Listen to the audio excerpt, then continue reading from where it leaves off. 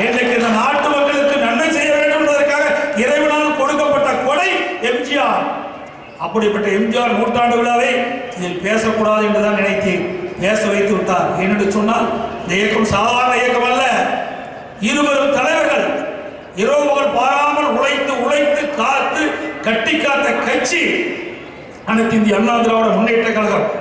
ஆகிய அப்படிப்பட்ட உணர்வுபூர்வமான கட்சி உருவாக்கிய தலைவர்கள் ஆட்சி உருவாக்கினார்.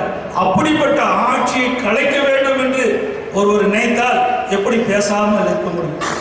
அதே அப்படிப்பட்ட துரோக செயல் இழைக்கின்றவர் இந்த மாவட்ட இலை சட்டமன்ற உறுப்பினராக இருந்தார்.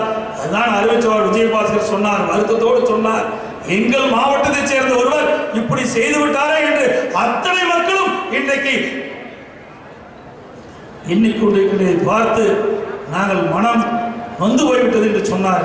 மேடையில் பேசிட்டு போய் சொன்னார். அருகிலே அவர் சொன்னார் இவ்வளவு பெரிய நிகழ்ச்சி ஏற்பாடு செய்திருந்தாலும் கூட இந்த தருணத்திலே இப்படிப்பட்டவர்கள்லாம் இப்படி செயலில் ஈடுபட்டிருக்கிறது. எங்களுக்கு வருத்தம் அளிக்கிறது. எங்கள் மாவட்டத்திற்கு அவப்பெயரை இவர் ஏற்படுத்தி விட்டார் என்ற ஒரு செய்தி என்னிடத்திலே சொன்னார்.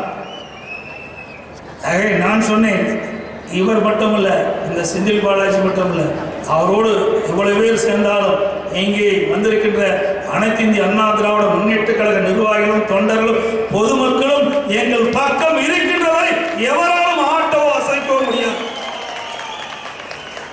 போல் எத்தனை பேர் பிறந்து வந்தாலும் இந்த இயக்கத்தையோ கட்சியோ ஆட்சியோ அசைக்கவோ ஆட்டவோ அழிக்கவோ முடியாது என்பதை நேரத்திலே தெரிவித்துக் கொள்கிறேன் அவர் நினைக்கின்றார் இந்த ஆட்சியை கவிழ்த்து விடலாம் இந்த கட்சியை உடைத்து விடலாம் என்கின்றார்.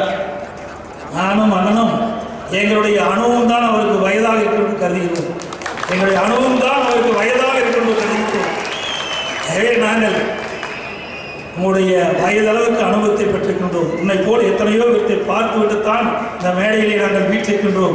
ஆகவே உங்களுடைய சலசலப்புக்கோ இங்கே நீங்கள் செய்கின்ற சூழ்ச்சிக்கோ இல்லது துரோகத்திற்கோ என்றைக்கும் அனுமதி அண்ணா திராவிட முன்னேற்ற கழகத்தையோ கட்சியோ வீழ்த்த முடியாது என்பதை நேரத்தில் திடமாக தெரிவித்துக் கொள்கிறேன்.